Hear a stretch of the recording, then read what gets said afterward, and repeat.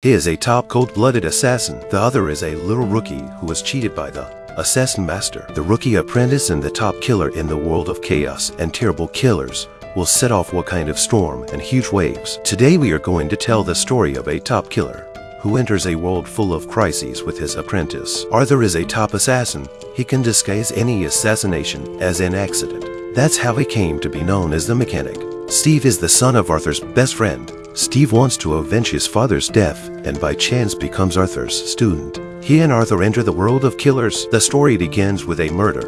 Arthur infiltrates his target's home and sinks to the bottom of the pool. He easily strangles the target after he enters the pool. After completing his mission, Arthur dresses up and leaves. He calculated his escape time. Then he found the right spot and jumped down. Arthur thus successfully escaped from the target search area. Arthur returned home after the mission and put on a vinyl record to compile information. He didn't look like a man who had just killed a man. Arthur saw the news and left home to meet his friend Harry at the hotel. Harry, as Arthur's friend, is also the one who gives the mission. The conversation between the two of them ended after the money was settled. Arthur's last mission had just ended when he received his next mission, but Arthur's next target was his best friend Harry. Arthur confirmed that the information was correct and went straight to the owner of the murder company. The boss met with him and told him the reason for Harry's assassination. He said that Harry betrayed the company and betrayed some of the staff.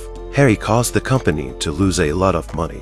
The quality of a killer is to be cold-blooded and ruthless. So Arthur did what a hitman should do. Arthur misled Harry on the phone and made Harry walk into the underground garage on his own initiative. Harry came to the underground garage and saw the scene before he realized that he was the target of an assassination attempt. Harry knew that Arthur, as the mechanic, would never break the killer's credo, so he let Arthur end his life. What makes a top killer kill his best friend without hesitation?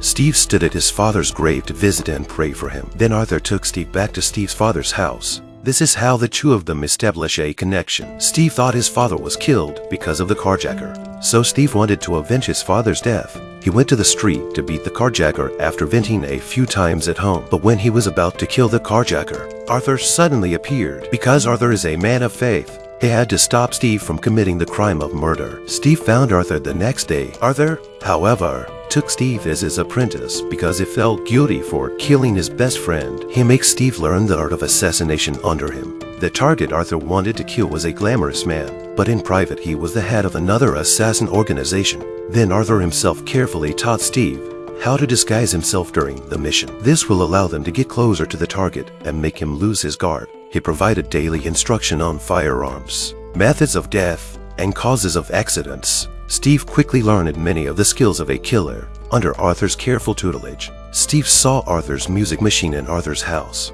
When he went up to touch the music machine, Arthur stopped him. Then he told Steve how to execute the task to make the target look like an accidental death. On the day of the mission, Steve thought back to Arthur's previous killing methods, but it didn't feel like following that accidental approach to the assassination. He went straight to the target's home without following Arthur's instructions. Steve strangled the target at his home. Steve struggled with the target and then put the poison in his mouth. After his mission was over, Arthur just instructed him to finish the murder job cleanly next time. After the mission was completed, the boss behind the operation called Arthur. He expressed his dissatisfaction with Arthur's completion of the mission. He felt that this mission was not in line with the agreement and gave Arthur another mission. Arthur had no choice but to take on this other mission. His new target was a human trafficker in the guise of a priest. At the same time, this man is also a drug addict, so the accidental death Arthur had planned for him could not be carried out. The two of them hide in the pipe and watch while they think of a new way to murder their target.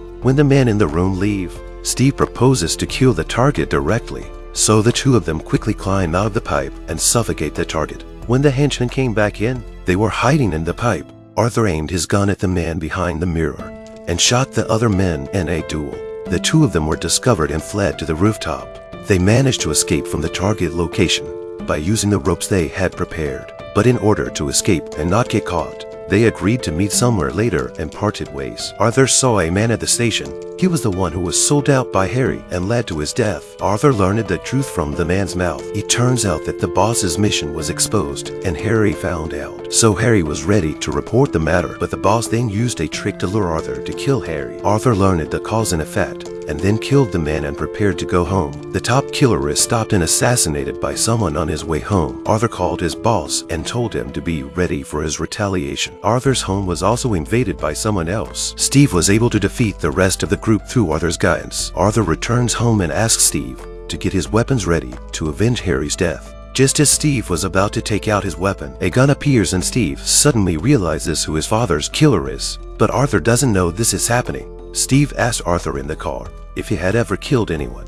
He couldn't forget. Then Arthur and Steve found the boss's subordinate's house. After coercing the boss's subordinate, they found out where he was. Arthur called the boss after learning the location of the boss. The boss was still trying to bribe Arthur with money. He did not know that the two of them had already entered the building and prepared all the assassination methods. Steve intercepted a bus. Arthur blocked all of the boss's exit routes. Then Steve's bus crashed directly into the boss's car before the boss died. He said something very crazy. They both shot their guns and finished their revenge plan. Then Steve and Arthur drove away from the scene. Steve was pretending to be relaxed in the car. He kept prompting Arthur about something. He wanted Arthur to admit that Arthur killed his father. But he didn't hear Arthur admit to killing his father, so Steve detonated the car with hatred.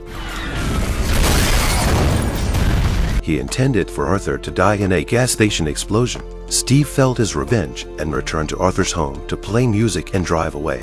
But he didn't know that all this was in Arthur's plan and arrangement. Arthur knew that Steve was a vain and rebellious man, Steve also died in an accidental death designed for him by the top killer, the mechanic. Arthur is the only man who left the place alive. This is the end of the story. The ending of this story is very clever. The mechanic never fights unprepared battles, and everything he experienced was under his control. The final scene of Arthur's escape is a testament to how good his professionalism is. At the same time, it also laid the groundwork for the second part of the movie.